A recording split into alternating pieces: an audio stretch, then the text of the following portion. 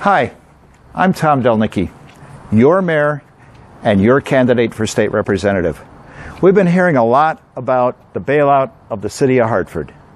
We all know they've made horrible mistakes. I mean, just, just look at Dunkin' Donuts Stadium and what's going on there. And now they're talking about a regional tax, taxing everybody in the greater Hartford area to pay for the mistakes of Hartford. Is that what you want? I'm Tom Delnicki, your mayor, your candidate for state representative. I'm Tom Delnicki, and I approve this message.